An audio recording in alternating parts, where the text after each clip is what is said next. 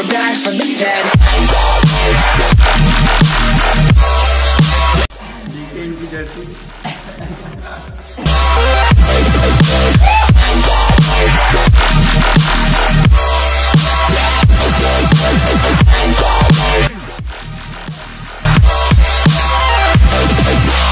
We're back from the dead.